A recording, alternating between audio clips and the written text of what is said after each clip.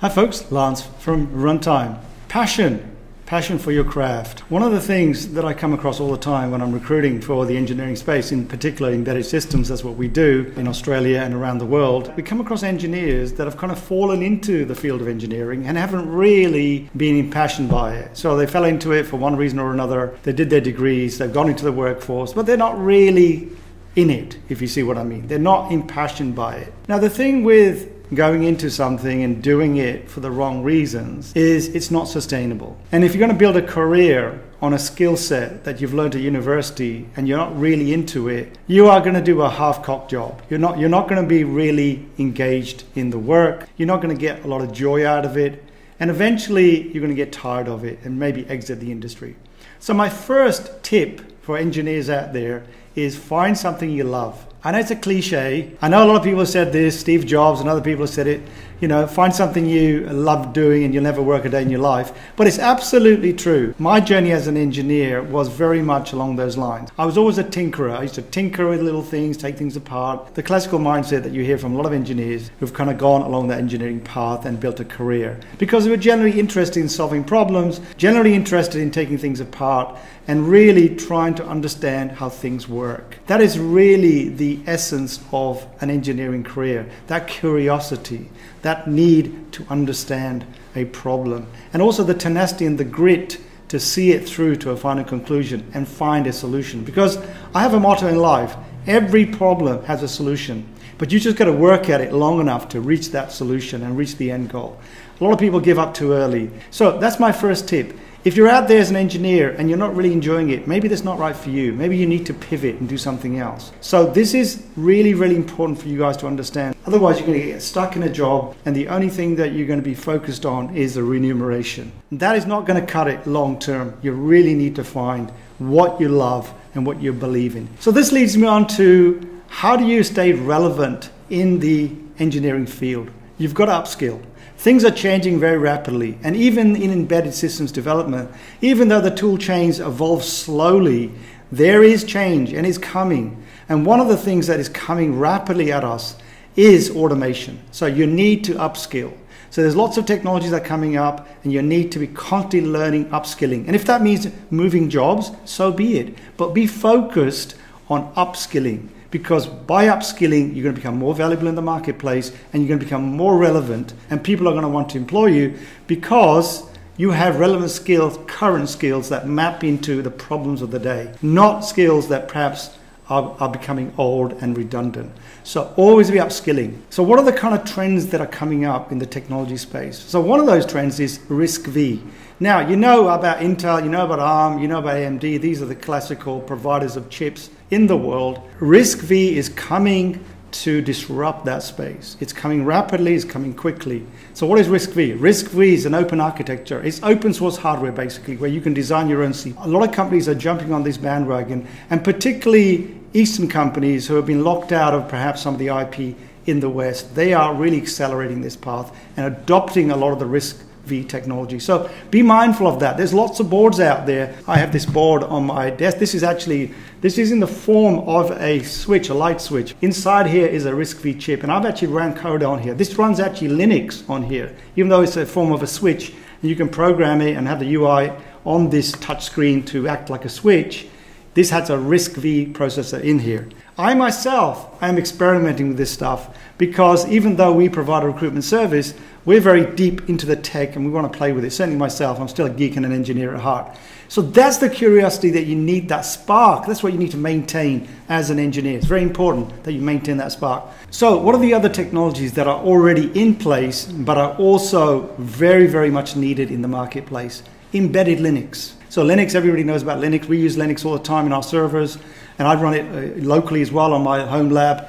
But Linux is on your Android phone, but it's also in a lot of embedded products. Why is that? Any sophisticated embedded system nowadays requires quite a lot of compute and quite a lot of features and complexity. Now, you can build that on a standard RTOS or other an open source or a closed source RTOS, but embedded Linux, which is free and there's no licensing for it, has become a prominent operating system for a lot of embedded devices. So I urge those of you that have not played with embedded Linux to get out there, build the kernel from scratch get the source code, build it from scratch, and start tweaking the kernel. So you need to understand about the kernel, the insides of the kernel. You need to be able to customize it by tools like Yocto, where you can compress the kernel size to fit into whatever footprint that you have for your hardware. So customizing the kernel and also looking at the user space of the kernel as well, where the applications sit.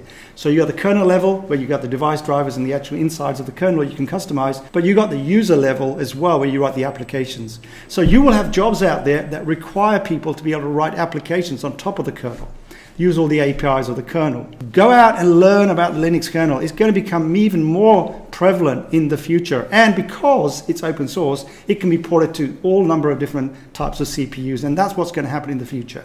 So I urge you to learn about embedded Linux. So what are the other things that are also coming at us very quickly? And we are deploying that ourselves. Now, you guys might have heard, I'm sure you have heard about ChatGPT. Now, this particular transformer is very powerful. We are deploying it throughout our company to help us be better at what we do for our customers, our clients, and candidates, to communicate better with our customers and clients. I urge you all to look at ChatGPT because it's not simply used as a transformer, language transformer. What you can also use it for as an engineer, you can use it to help you write code. And I've used it many times myself to get it to give me fragments of code that I can go and build into my project and get it up and running very quickly. So it's a tool for learning, but it's also a tool for rapid prototyping of any product that you're, build, you're building and you're working on. At least to get it to a level where you can test it and tweak it, and then you can add your own secret sauce to the solution. So I urge you to use those tools. So when it comes to upskilling, one of the other big, big skills that you need to really be mindful of is machine learning. Machine learning is coming fast and hard at every sector of technology. It's disrupting so many areas and it's going to disrupt embedded. So machine learning at the edge is very, very important. That is basically training a model in the cloud and then deploying that model on a small microcontroller to do a very specific task. It could be um, object detection, it could be sound detection, whatever it is, it's a very specific thing that you want to sense. It's not only for sensors, but you train that model in the cloud and deploy it on your embedded device. So learn about machine learning at the edge. There's many things to learn about machine learning at the edge. So what I've described in the way of a small use case, that's just one area.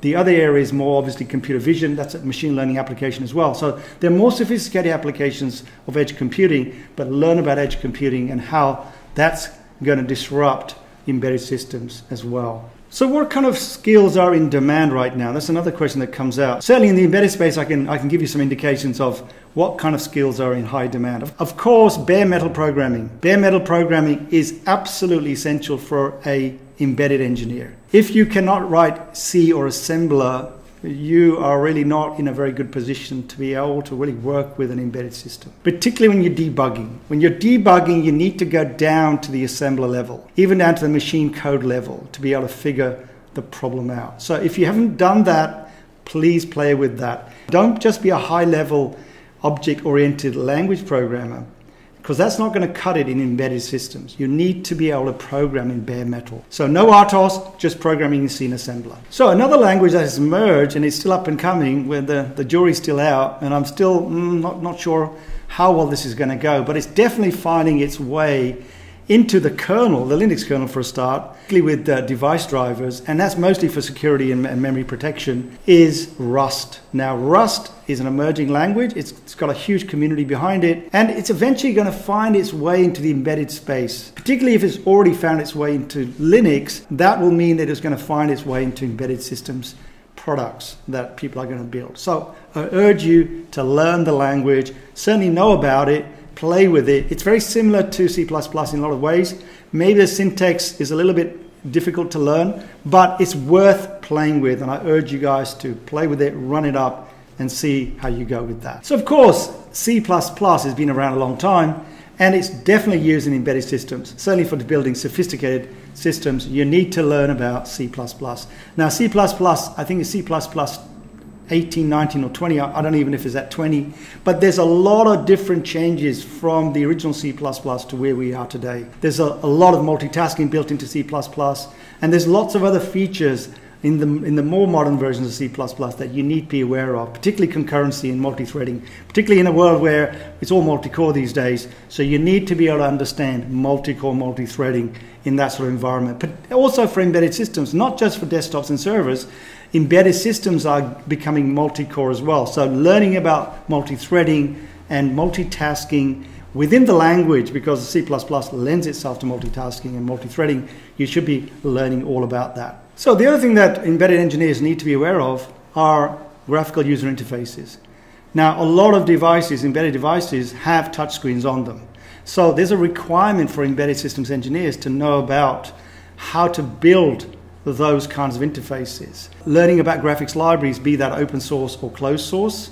So Qt or some of the uh, other open source libraries that are available out there, there's plenty of them that you can use to build GUIs basically for your embedded system. I've actually built a lot of them myself. They're not that difficult. You have an editor.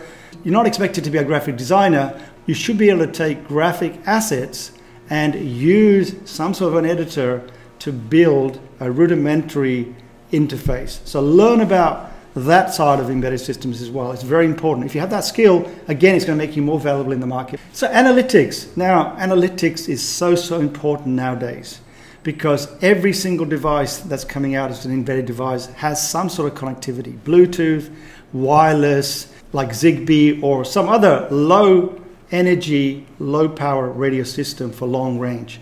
So you need to be able to understand what the data collection part of an embedded system is. Where does the data end up? It ends up in the cloud on some server. So you need to understand the connectivity, the cloud side of an embedded system to the cloud. That is very important. So learn about you know all the server side as well as the embedded side and how the APIs talk to one another. It may be on AWS, it may be on Azure, it may be on a proprietary cloud server system, but you need to understand about analytics and data collection. So I mentioned embedded Linux. So embedded Linux is only one offering. Embedded Linux is designed for more complex embedded systems. So there's plenty of use cases where that's a, a, bit of an overkill and you need to resort either to bare metal or to an RTOS. Now, there's plenty of RTOSs out there, and I'm sure some of you, I'm sure all of you have, have played with them. You know, FreeRTOS, RT Thread, NuttX come to mind. There's a, a whole swag of these open source RTOSs out there, but it's also closed source uh, RTOSs out there for more mission critical systems that you may be using. Whatever RTOS you're using, make sure you understand how the RTOS works, how to initialize the RTOS, how to create the tasks, what the inter-task communication is, how interrupts are handled. You need to go deep into the RTOS and understand it deeply. So if you have that kind of skill as well, it's going to make you very valuable in the marketplace. In the age of internet and AI, security is absolutely key to building embedded systems. It's no longer an add-on. It's an absolute essential that's built in at the design phase of the project, you must build in security. Now, that security might be at the chip level or it may be at the firmware level. Whatever level is at, it could be both. You need to understand how does security come into the design of your operating system. Learn about security. Learn about how you will build the firmware to incorporate security so that hacks are minimized or reduced completely. So learn about security. Again, this will make you more relevant and more valuable in the marketplace. So debugging is another big area. We do it all the time. As embedded engineers, you've got to debug your firmware. You've got to debug your hardware. But you need to really pay attention to what tools are available. The toolkit for debugging is also evolving. There's automatic test.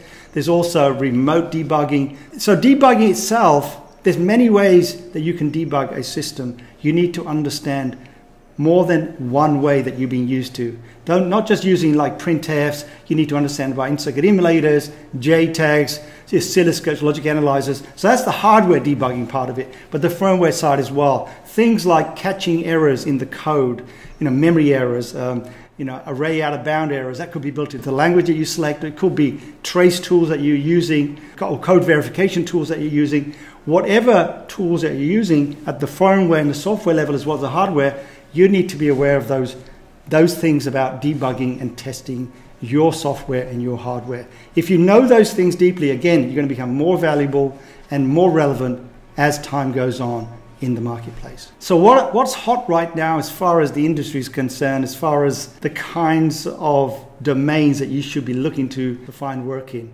Well, robotics is huge. And now there's a huge number of companies who have jumped on this bandwagon of robotics and automation and autonomy as well. So we know about electric cars. That's another area to get into electric vehicles and autonomous vehicles.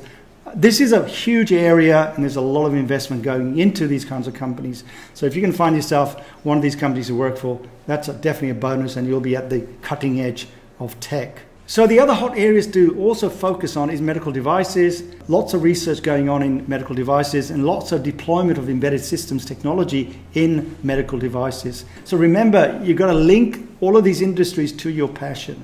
Some people might be interested in cars, some people may be interested in rockets, some people may be interested in medical devices, some people may be interested in industrial automation. So IoT is a big thing to get into when it comes to industrial automation. Lots to look forward to, lots happening in this landscape. So I urge you all to go out, learn, learn, learn, apply, apply, apply, and you will not be left behind and you will remain relevant and desirable as an engineer in the market. And you will also enjoy the journey. Good luck with everything, and I wish you the very, very best. If you want to connect with me, you can connect with me on LinkedIn. Just look for my name, Lance Harvie, and you'll, you'll find me. If you want to email me, that's lance at runtimerec.com. And what we do here is we help companies find great engineers and help great engineers find great engineering positions. Wish you all the best and catch you in the next one. Cheers.